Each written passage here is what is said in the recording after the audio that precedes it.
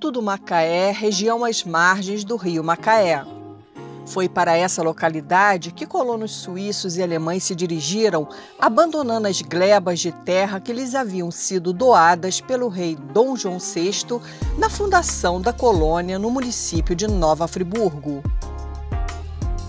Como as glebas recebidas por esses colonos eram impróprias para a agricultura, foram autorizados pelo diretor da colônia a tomarem posse de terras em outras regiões.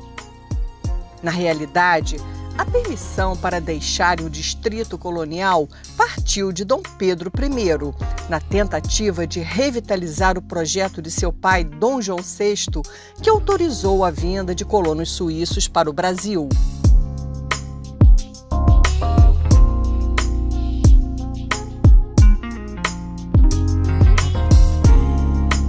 Já estava instalado na região do Alto Macaé desde o ano de 1823 o francês Philippe de Roure.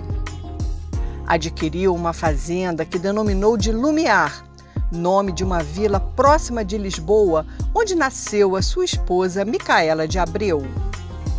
Por ser a principal fazenda da região, deu nome ao distrito de Nova Friburgo. A casa de vivenda da família de Roure foi adquirida posteriormente por Carlos Maria Marchon e depois por Eugênio Guilherme Spitz, descendentes de colonos suíços e importantes políticos na localidade. Essa região tem uma importância política de tal ordem que, em outubro de 1889, bem próximo da proclamação da República, recebe o predicado de segundo distrito com o nome de Lumiar. Já São Pedro da Serra recebe esse nome em homenagem a Dom Pedro I, que havia autorizado a posse de terras devolutas na região. Pelas leis que se sucedem ao longo dos anos, dá para sentir o clima de animosidade e disputa entre as localidades de Lumiar e de São Pedro da Serra. Pela deliberação de agosto de 1890, o distrito de Lumiar passa a denominar-se São Pedro. No entanto, no ano de 1915, o segundo distrito volta a denominar-se Lumiar. Carlos Maria Marchon era chamado pela imprensa de mandão de aldeia da localidade de Lumiar. Era o principal líder político e presidente do Partido Republicano Fluminense de Lumiar. Nas eleições para vereadores, era o distrito onde a disputa política era mais acirrada e violenta.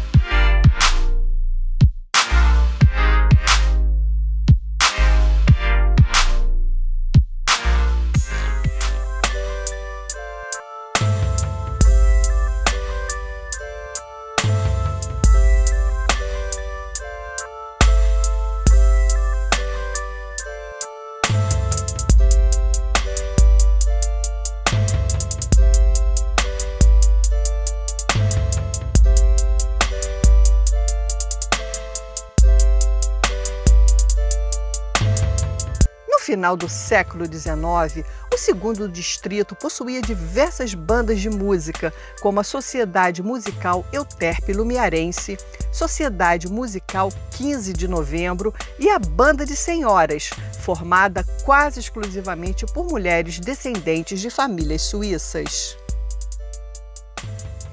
Ainda no campo da sociabilidade, corridas de cavalo ocorriam no Prado Entre Rios, em Lumiar.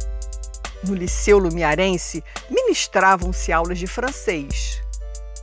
Há o registro de que, quando o presidente do Estado, Francisco Portela, visitou Nova Friburgo, os alunos de uma escola de Lumiar recepcionaram-no cantando a Marseillaise, hino da França adotado pelos republicanos brasileiros.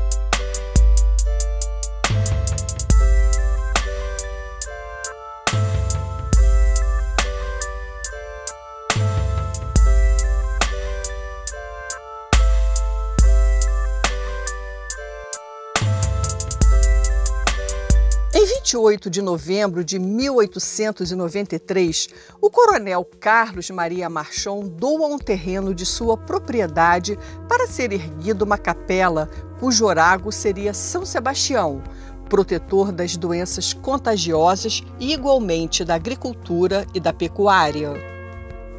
Teve a sua pedra fundamental benta pelo vigário da paróquia de São João Batista em 3 de junho de 1895.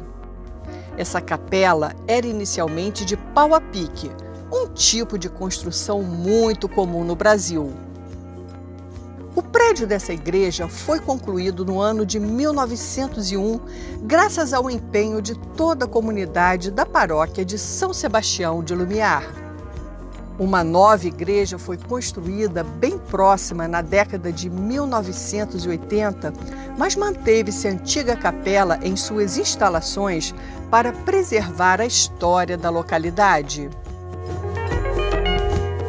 entrevistamos o padre Romevaldo José Reis de Azevedo, pároco da paróquia de São Sebastião de Lumiar. É, padre Romevaldo, o que, que o senhor sabe sobre a história aqui da igreja de Lumiar? A história da igreja de Lumiar é bem antiga, né? data mais ou menos de 1894, quando o coronel Carlos Maria Machon né? Ele é quem faz a doação de todo o terreno e procura também o bispo, que na época era o, o bispo de Niterói, Dom Francisco Rego Maia, e quem é este bispo quem autoriza a construção dessa capela aqui onde nós estamos, que é a de São Sebastião, datada de a escritura de 1894, e ela é concluída em 1901.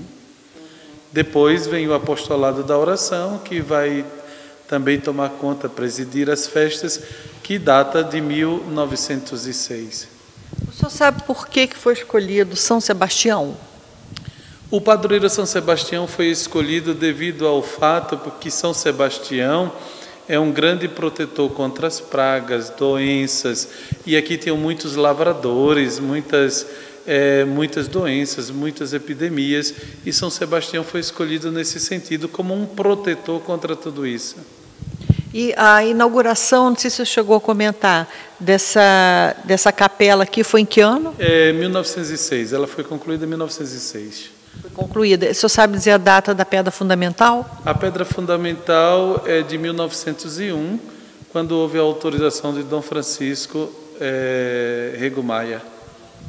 Agora, padre, é, a gente está falando aqui de Lumiar, mas a igreja de São Pedro da Serra, é de, ela é de 1865, bem anterior a essa aqui. Mas na época, isso tudo era uma região só. Não havia ainda essa divisão né, administrativa como tem hoje dois distritos.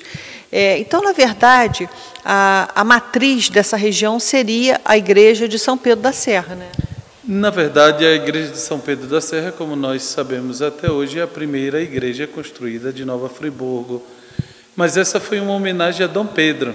Dom Pedro I, a Dom né? Pedro I, né? Então veio essa homenagem a Dom Pedro e é, se tornou a primeira igreja da região. No entanto, ela não é a igreja é, mãe de todas as igrejas de Nova Friburgo, por ter sido também uma homenagem nesse pequeno povoado que existia aqui é, de São Pedro da Serra. Depois, mas havia já esse coronel aqui é, em Lumiar e nessa sua região. E esse coronel é quem vai praticamente determinar essa pedra fundamental de Lumiar como também uma capela, não é? Uma capela. Agora, no caso da, da igreja lá de São Pedro da Serra, estou citando ela por causa da anterioridade da data, é, parece que a construção era bem modesta, ali inclusive na frente da igreja fala que era de madeira, em estilo suíço, né, em homenagem, a, no caso, a Dom Pedro I. Existiam essas estalas aí, né, que eram todas de estilos suíços, porque é, primeiro chegaram aqui os Auvernais, depois vieram Blaudites e tantas outras famílias advindas da Europa. Não é? E eles fizeram essa primeira instalação, já em homenagem a São Pedro, e depois foi que veio a ereção do templo mesmo como temos hoje. Mas então, nesse caso, a matriz dessa região é essa igreja aqui de São a, Sebastião. A matriz é, é, paroquial é a de São Sebastião de Lumiar.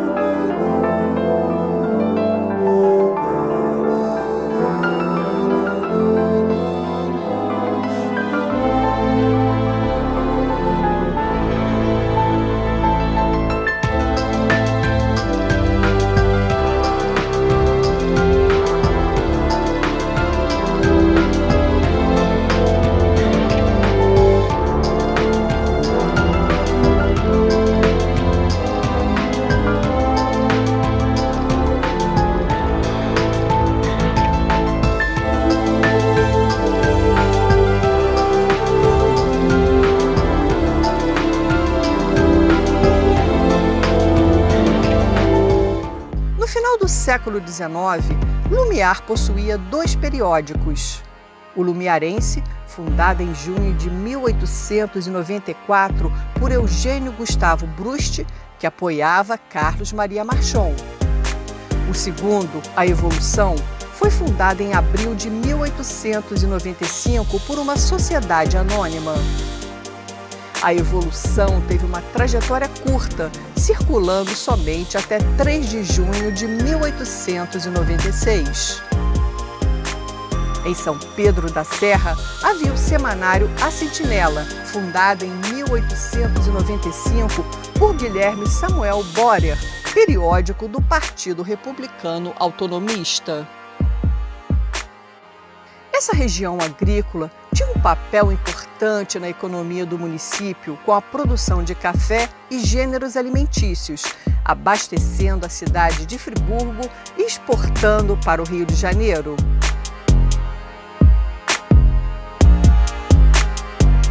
Aproveitando uma onda autonomista, no início do governo republicano, diversas localidades ganharam o predicado de cidade mesmo tendo um baixo índice populacional e sem expressão econômica. Posteriormente, essas decisões foram revogadas. Um grupo de políticos locais chegou a pleitear a desanexação de Lumiar de São Pedro da Serra de Nova Friburgo, emancipando-se para se tornar um município autônomo.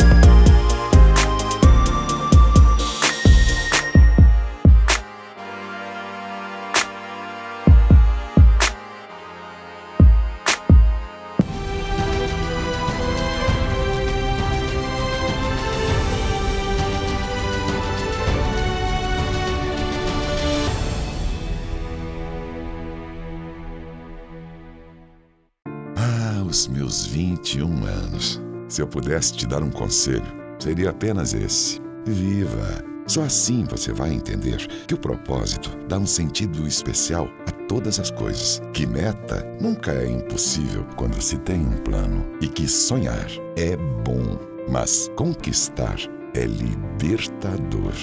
Consórcio Canopus, 21 anos. A conquista mais importante sempre será a vida.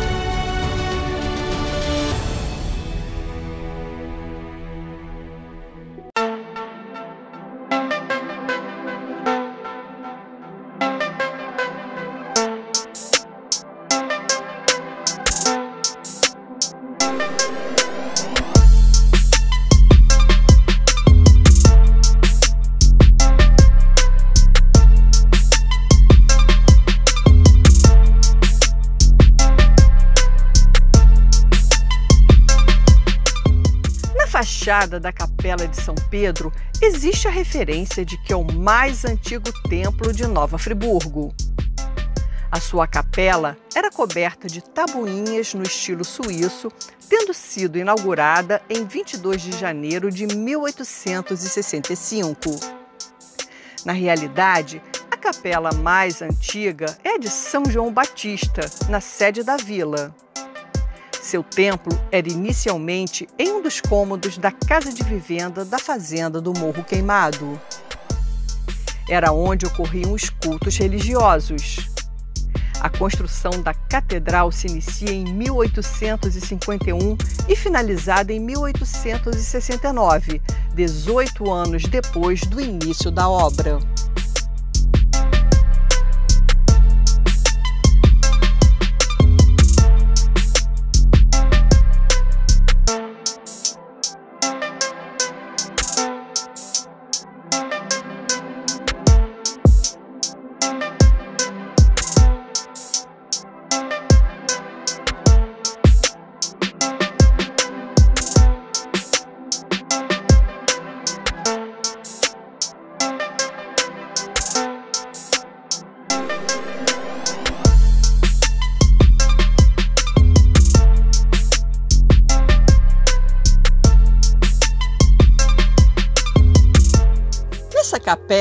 A imagem de Nossa Senhora de La Salette. Trata-se de uma invocação dada à Virgem Maria em sua aparição na região dos Alpes franceses. No dia 19 de setembro de 1846, por volta das três horas da tarde, dois pastorzinhos, Maximin Giraud e Melanie Calvat, tiveram a visão da Virgem Maria numa montanha perto de La Salette, na França. As crianças viram numa luz resplandecente uma bela senhora sentada sobre uma pedra. Relataram que a bela senhora estava triste chorando, com seu rosto descansando em suas mãos. Nossa Senhora relatou segredos às crianças e pediu que se fundasse uma ordem religiosa. Essa aparição foi reconhecida pela Igreja Católica.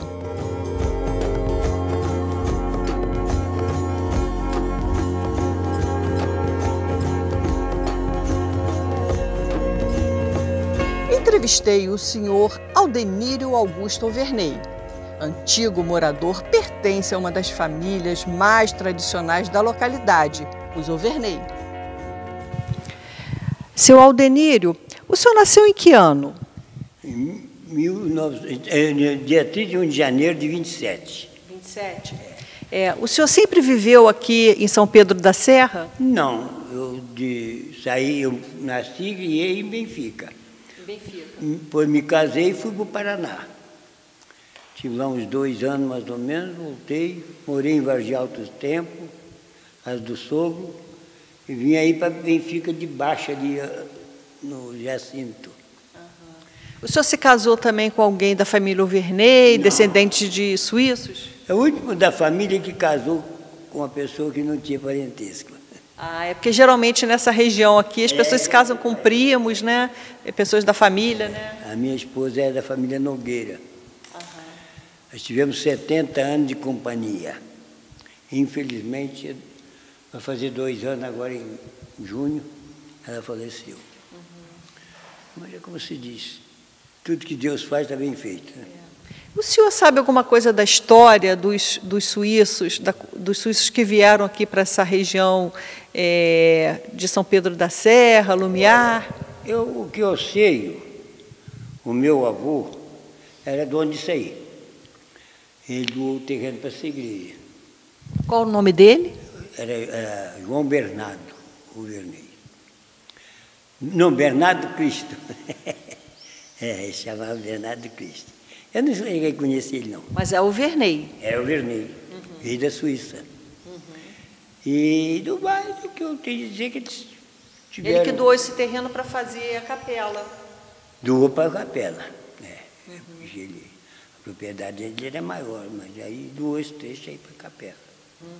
Agora, quando essa capela, quando foi assim, construída uma capela, ela era de madeira, né? Era de madeira. Você sabe dizer mais ou menos a descrição que fazem de como ela era? Oh, isso é meio difícil. É. Porque eu, quando eu vim pegar, já, já, já tinha é tijolo, não era mais igual era, não. É. O senhor sabe que ano que foi assim inaugurada a, essa igreja de alvenaria? Eu acho que está escrito ali, né, não?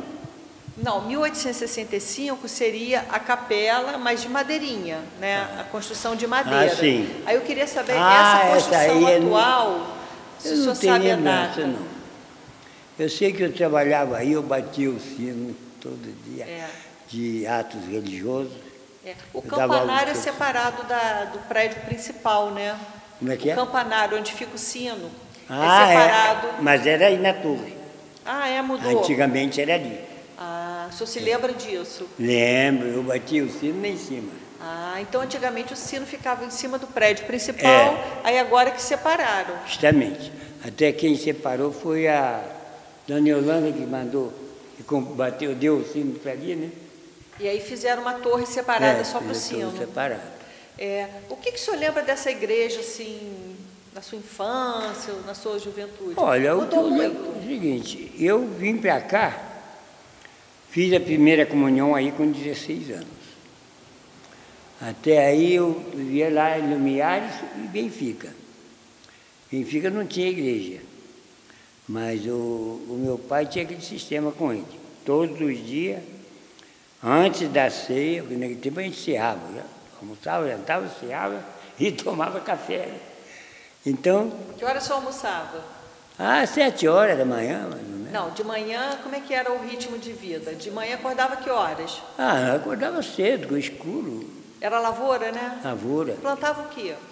Plantava inhame, não, milho, feijão e inhame naquele tempo não se plantava. Arroz, o gasto, essas coisas assim. Arroz para o gasto, né? É. Para consumo próprio. É. Uhum. podia ter bastante arroz lá. E, e depois deu, como eu estava dizendo. Quantos filhos seu pai teve?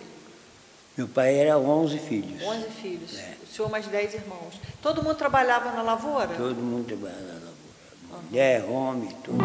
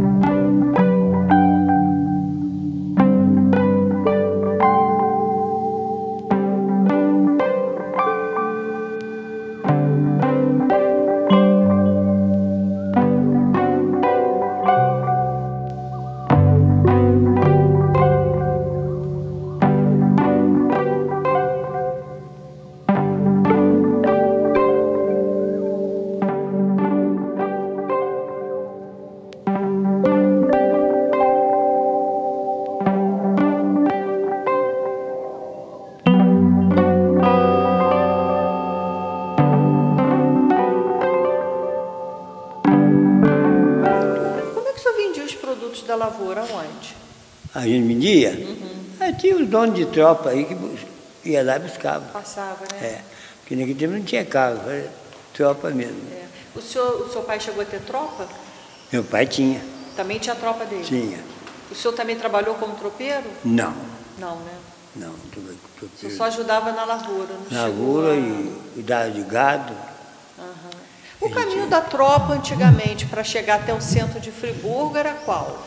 A gente passava pela Sibéria, ia sair em Vargem Alta, 61, passava pelas Brownie, era uma maneira difícil de é. passar aquele tempo. Não é esse caminho que a gente faz não, hoje, não, né? Não, isso aí já foi feito depois da a gente já formado, é. papai e tudo. É. Senhor, é, quanto tempo levava, assim, mais ou menos, uma viagem de um tropeiro daqui até o centro de Nova Friburgo? Pois não ia direto, não. Tinha uh, o lugar de arranchar no meio da estrada. Uhum.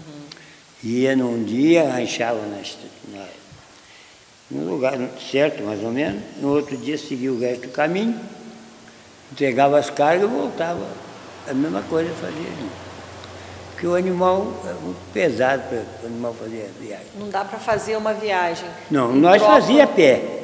Eu sei, mas não dá para fazer uma viagem de tropa e voltar no mesmo dia, ah, não, né? Não dá, não. Mesmo saindo é. à noite, é, é muito puxado. É difícil. Tinha os rios também, né? Para passar os rios, né?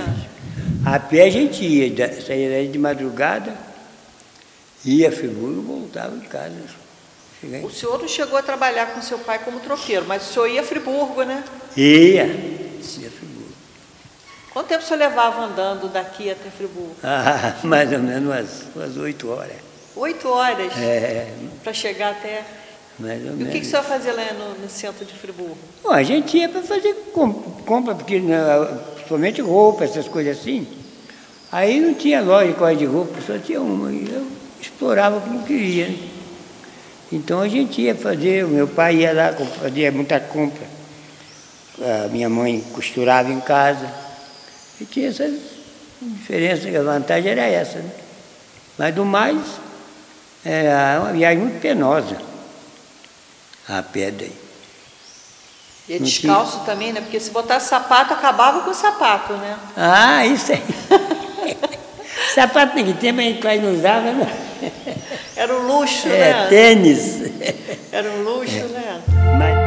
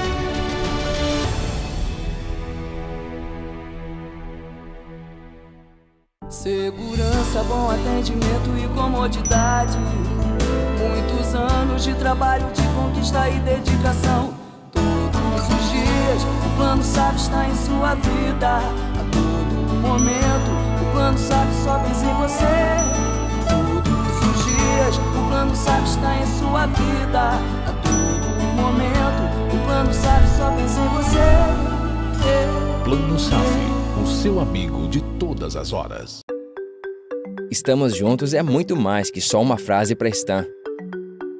Representa a nossa dedicação em criar produtos pensando no que mais importa. Você e sua família. São fechaduras, puxadores, cadeados e outros itens que estão no balcão de sua loja, no seu dia a dia e até nas suas horas de lazer. Por isso, tenha uma só certeza: em todos os seus momentos, tem que ser Stan.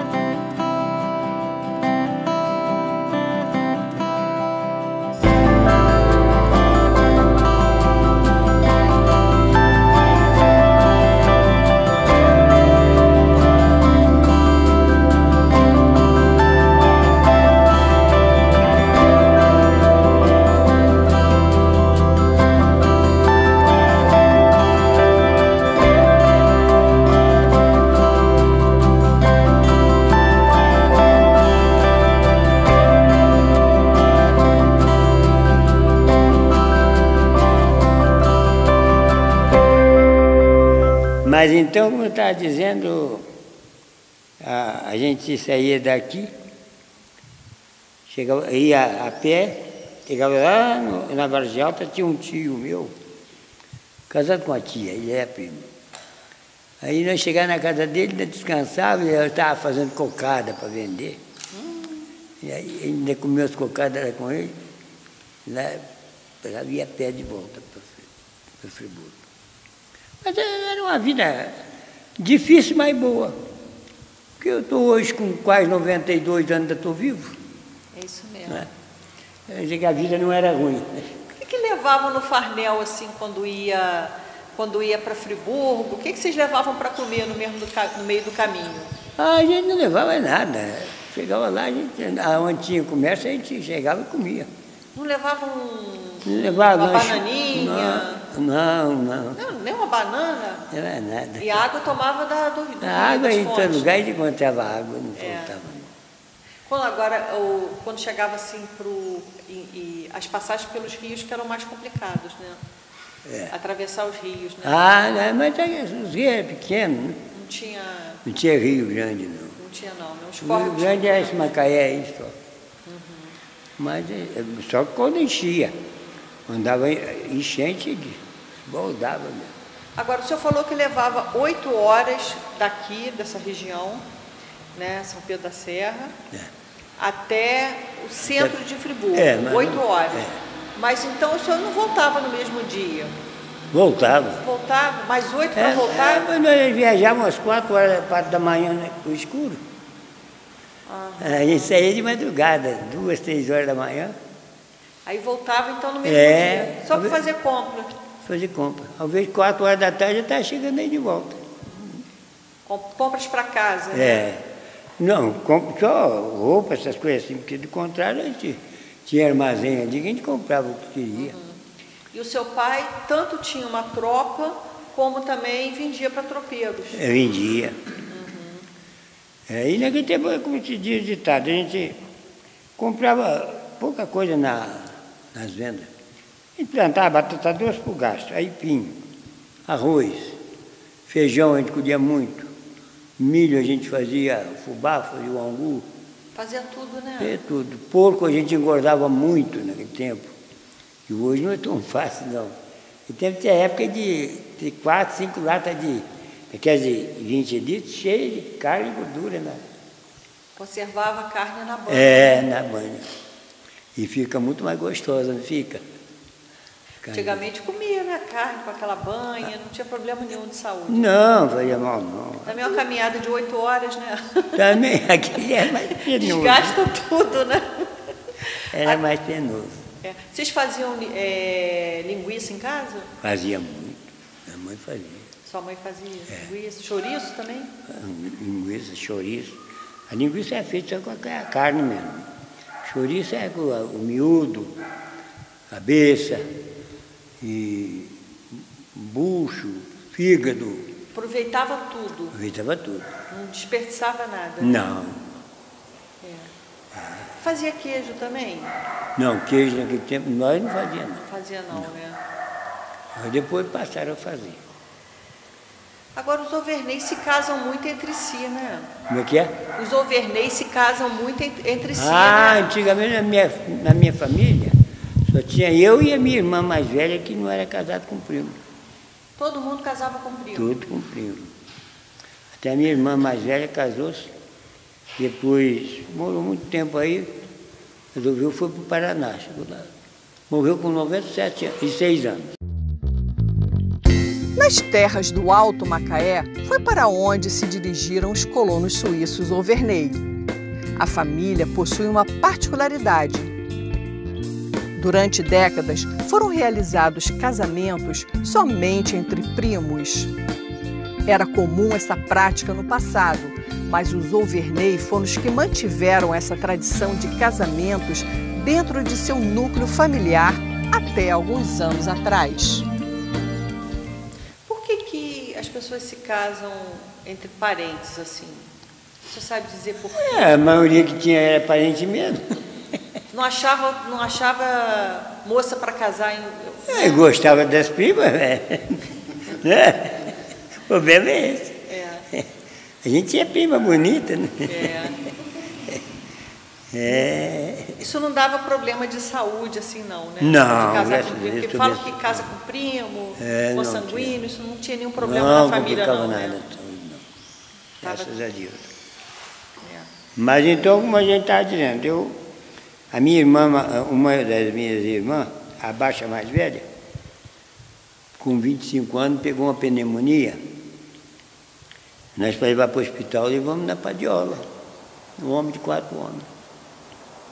Para Friburgo? É. centro de Friburgo. É, naquele tempo era Santa Casa Misericórdia, hoje é o Hospital ah, Raul Sertã.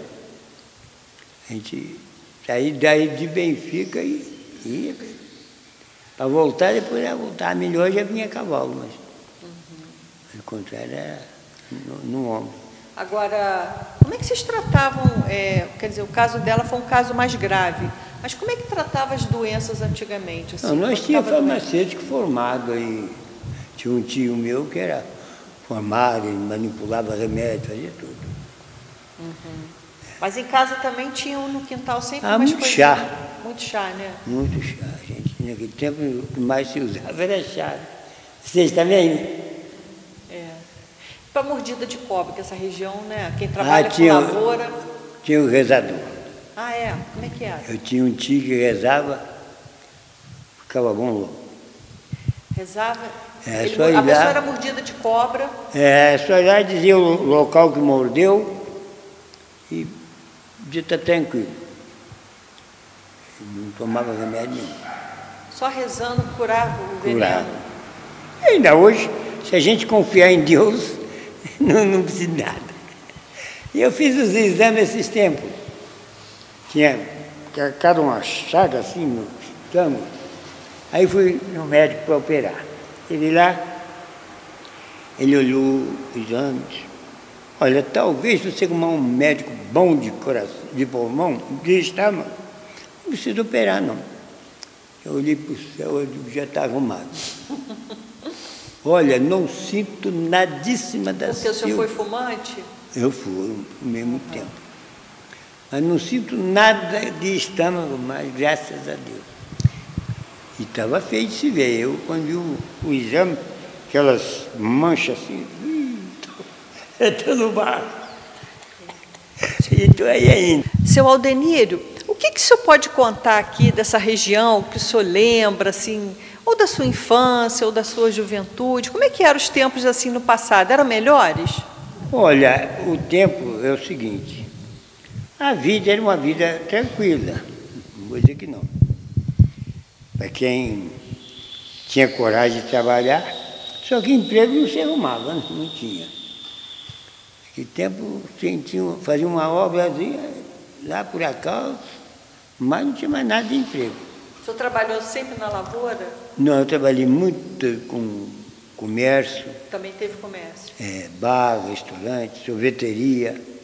Eu fazia cocada em casa para vender para fora. E lá no Paraná eu trabalhava na lavoura e tirada de leite. Uhum. Eu trabalhava das 11 horas até as 6 da manhã tirando leite. Foi muito é, descendente de suíço lá para o Paraná?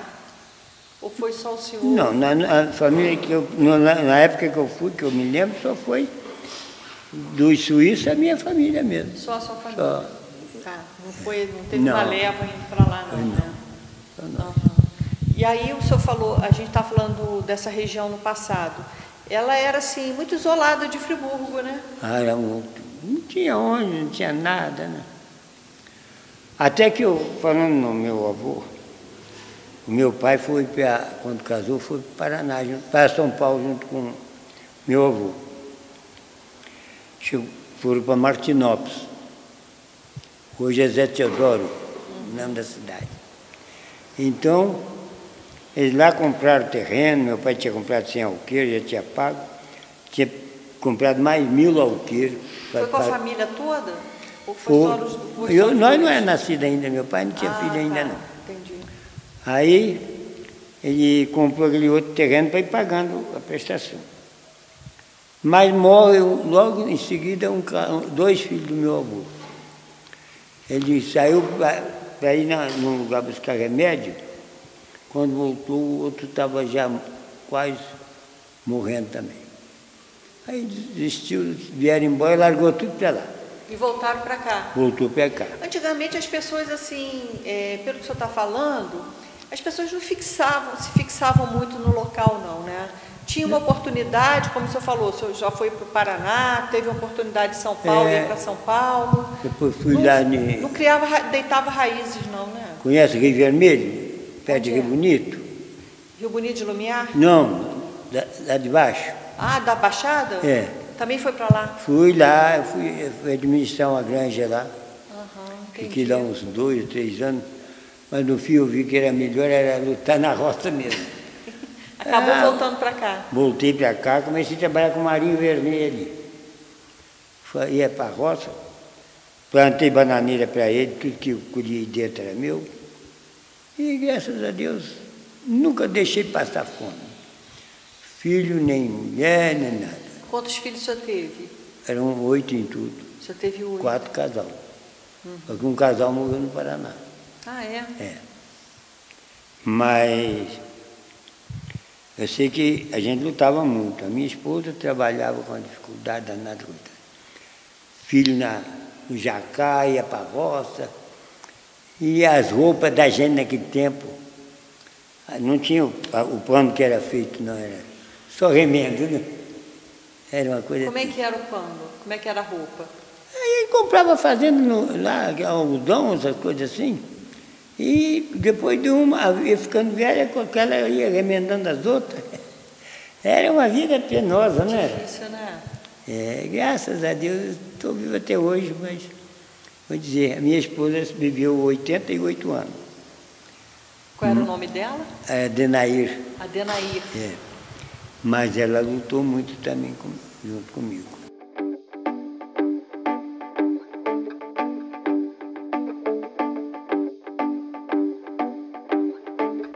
Café que se plantava tanto em Lumiar quanto em São Pedro da Serra, essa localidade era conhecida como Inhames, em razão das inúmeras plantações desse legume na região.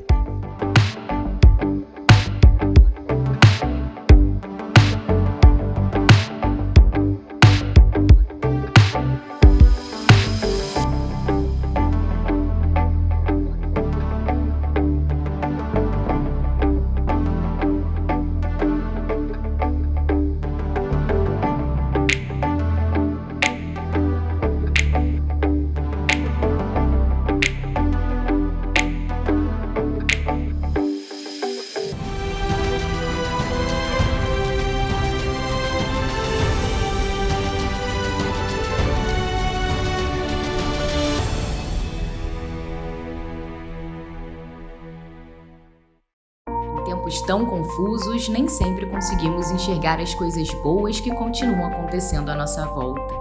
O Marcos e a Paula foram morar juntos no apartamento que eles compraram. A dona Ana se aposentou e trocou a vida da cidade grande pela tranquilidade da serra. Está amando morar pertinho de tudo. A Alice e a Júlia viraram sócias e estão montando um escritório lindo no Vila Boulevard. Apesar de tudo, sonhos continuam existindo. E há 49 anos, a Gemini constrói sonhos junto com você.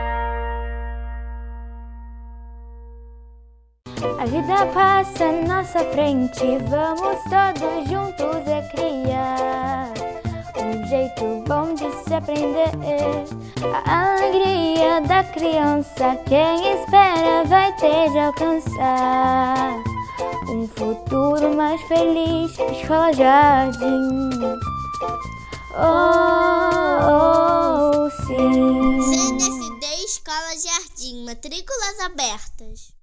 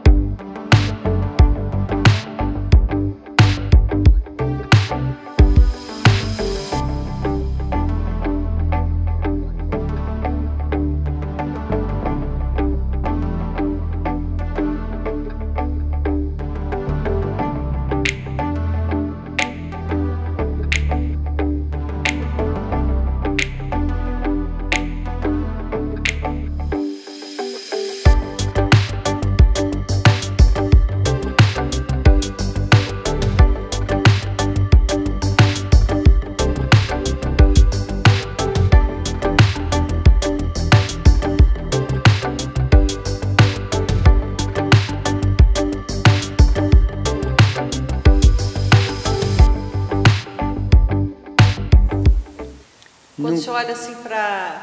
É, quando o senhor vê hoje essa região aqui, São Pedro, Lumiar, é, e olha o passado, a dificuldade da vida material, o senhor acha que hoje é melhor?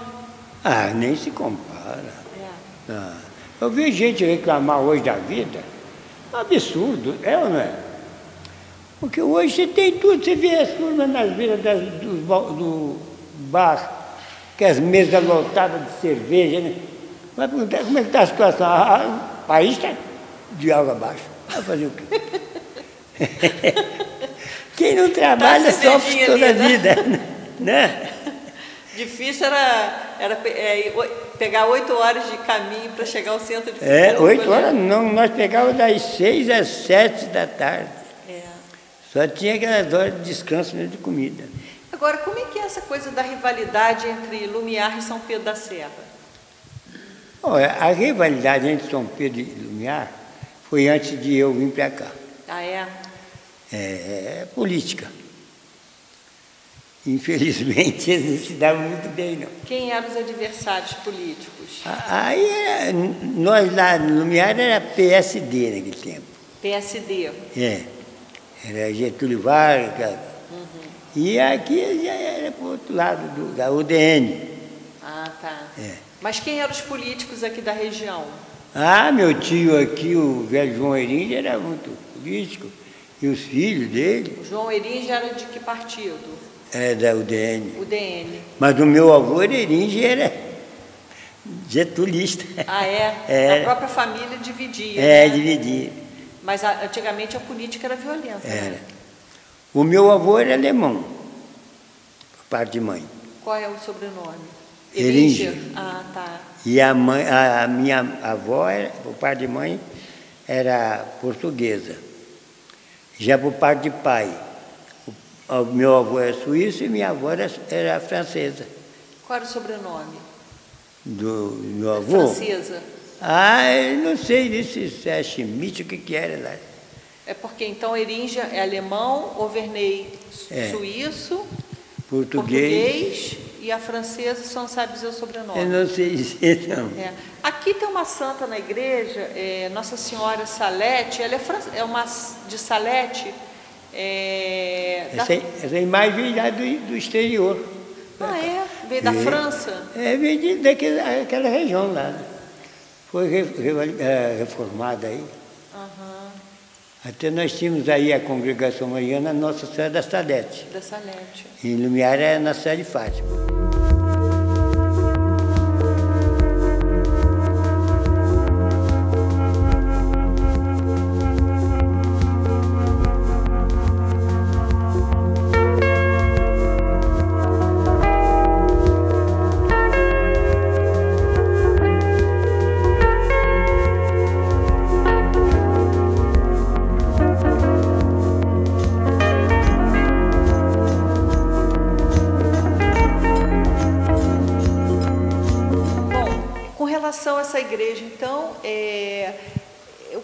Falasse um pouquinho das festas religiosas. Que, qual é o mês que é a festa religiosa aqui da igreja de Olha, São Pedro? A festa religiosa é dia de São Pedro, Qual é o dia? 29 de junho. De 29 de junho, né? A festa aí era organizada, na, na rua era aquelas barracas de Sucena, naquela época. O pessoal fazia ali, era cachorro quente, fritava sardinha. Era muita sardinha. Era Tava um- sardinha? Sardinha, conhece? De peixinho? Aham, Pois é, o pessoal comprava sardinha, fritava e vendia nas barracas de festa. aham. E bebida, café.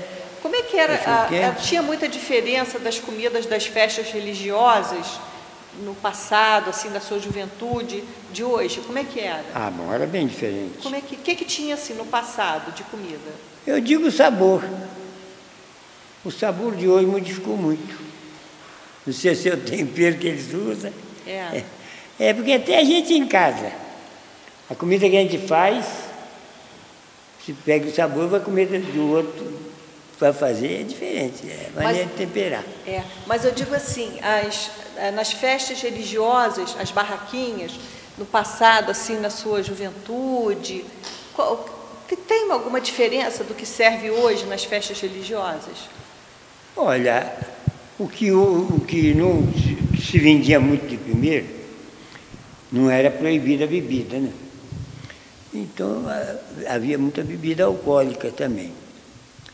Mas ho- hoje já a bebida alcoólica é só na- nas casas de comércio que paga licença. Não pode ter bebida alcoólica? Não, não é permitido bebida Por que, que alcoólica. não é permitido, assim? A pessoa bebe, toma pó, fica falando né? bobagem, né? Aí acabaram proibindo. É, pode até arrumar encrenca. Essa proibição veio da, da paróquia? É, Foi da paróquia. Entendi. É. Não pode ter, mais bebida alcoólica nas festas de Não, São na, Pedro? na barraca não. É porque também os próprios comerciantes que, que vendem bebida, eles também dão em cima, né? Agora, o senhor sabe por que, que essa igreja, quando surgiu aqui, por que, que ela chama São Pedro? É porque é, o lugar foi denominado São Pedro por causa de. E com isso botaram a igreja em nome de São Pedro. Mas por que São Pedro? Aí eu não sei, porque isso é coisa antiga, né? Se eu disser para o senhor que foi por causa de Dom Pedro I, que autorizou os suíços a virem aqui para essa região. Ah, pode até ter sido. Não, não dizer isso eu não posso dizer com certeza. Dizem que o sino aqui foi doado por Dom Pedro II. Foi o primeiro o sino que tinha aí, era. Aí, isso daí é, é certo. Foi Dom Pedro II, É, filho né, de Dom Pedro I, que doou o sino aqui para a igreja. Que que leva igreja- o nome do filho dele, né? É. Essa igreja é mais velha do que a de Friburgo, que é a matriz de Friburgo. É, eu sei. 1865, né? Aí nós ficávamos aí seis meses ali sem ver um padre, né? É difícil. Quando vinha, fazia-se uma festa. O senhor sabe citar nome de famílias suíças aqui dessa região? Descendente de, dos colonos? Sobrenomes? Olha, aqui existia Maforte, Freze, Perrude, e o Verney, Eringe, Schmidt, Klein, é, muita, tipo, muitas famílias. Até hoje é, Tem, de todas elas tem um bocadinho. Não é tudo não, mas tem. O senhor tem saudade do, do passado? Não. Eu, graças a Deus, hoje eu só posso agradecer a Deus na minha vida. Né? Eu, hoje o que eu faço é amizade com todo mundo. Não existe pessoa estranha para mim. E tem facilidade vir à igreja ainda. Naquele tempo a gente, na minha idade, não tinha. É? Meu pai morreu criança. Meu pai morreu com 40, com 64 anos. Ele até que foi um milagre o dia da morte dele. Ele tinha acabado de arrumar um dinheiro para emprestar para um amigo, sete contas de réis, que tem, era conta de réis, né? Aí o meu irmão falou, papai, o senhor vai mandar o dinheiro para Pedro Gabriel, que era o rapaz que tinha pedido dinheiro. Ele disse, ah, põe essa bolsa aí. Eu tinha uma bolsa por cima do, do, da cabeceira da cama. Ele acabou de contar o dinheiro, meu irmão levou. Ele olhou para si e disse, ai meu Deus, se não fosse pecado eu ia pedir descanso. Parece que Deus ouviu e disse, não é. Na mesma hora, apagou. Um grande milagre de Deus. E do mais, como se diz, a minha mãe morreu também, não foi muito velha, morreu com 70 anos mais ou menos. Hoje o pessoal dura mais. Eu tenho um amigo que trabalhava comigo, está com 80, 98. Morreu uma senhora aí em cima com 107. E hoje já estou no 92 quase. Então, acho que a vida de hoje em dia está melhor.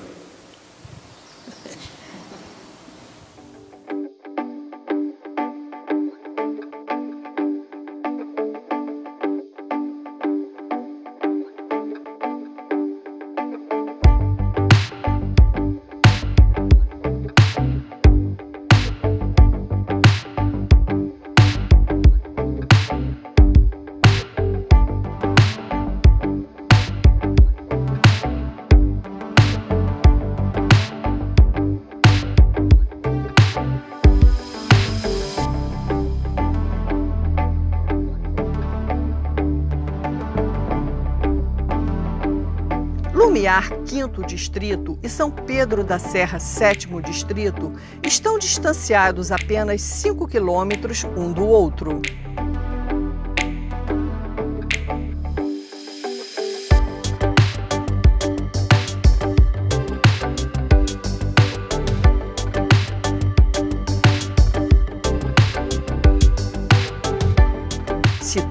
Em área de Mata Atlântica na Reserva Florestal de Macaé de Cima, onde nasce o rio Macaé.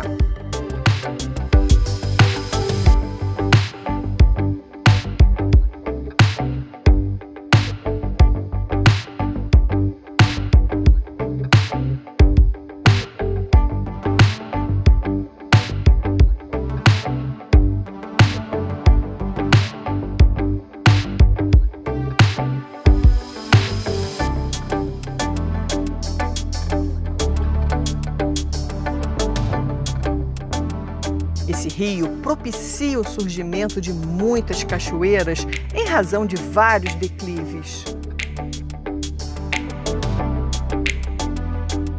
No passado, essa queda favorecia a instalação de moinhos e monjolos, auxiliando os produtores rurais em suas roças.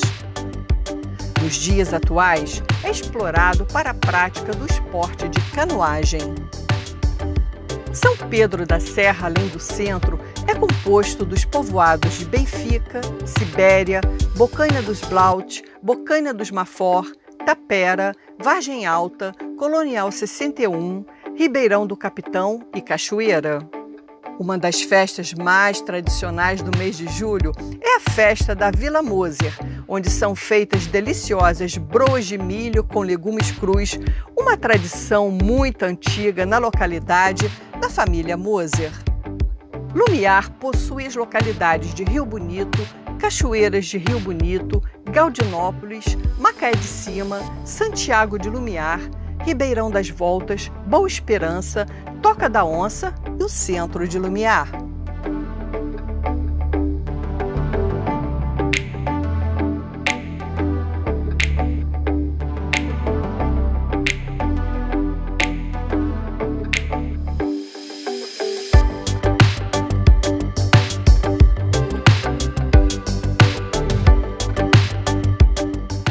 A atividade agrícola, tanto de Lumiar como de São Pedro, nos dias de hoje, está bastante reduzida e restrita em razão da região ser área de proteção ambiental de Macaé de Cima. Em contrapartida, muitos de seus moradores usufruem da vocação turística desses dois distritos que possuem uma imensa população flutuante nos finais de semana e no verão. A gastronomia, o artesanato e a prestação de serviços são fontes de renda para os moradores locais.